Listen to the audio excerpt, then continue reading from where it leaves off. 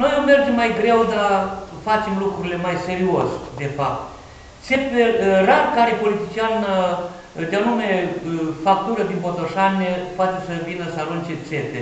În disperare de cauză, și un coleg al dumneavoastră spune, acest slogan de a face locuinții, el a vândut PSD-ului în campania electorală ca PSD-ul să capete capital politic.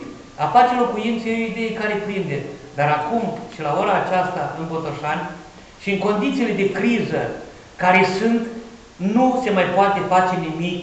Așa a recunoscut și primarul Madre și statul dumnealui, pentru că nu au reușit să construiască acele o mie și ceva de locuințe și și mai rău au crescut prețurile la locuințe între timp, antreprenorii uh, s-au retras din această afacere pentru că era de fapt o schemă banca de bani, un investitor îi preia și îi, primăria pune la dispoziție uh, terenul și utilitățile de 6 milioane de euro în afară de prețul terenului uh, a pus la dispoziție. Și ele nu sunt populate.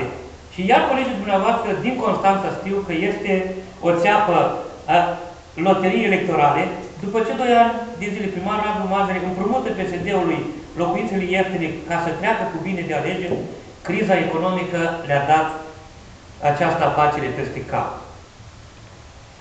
Ei, nu, vă, nu vreau să vă mai spun că în această afacere este băgat și fratele Geamăn, Alexandru Mazăre, senatorul Alexandru Mazăre și cum se fac uh, afacerile pe malul mării ca să nu, uh, uh, cum, nu vrem să le uh, punctăm mai mult decât trebuie, e lucru necurat în zona respectivă.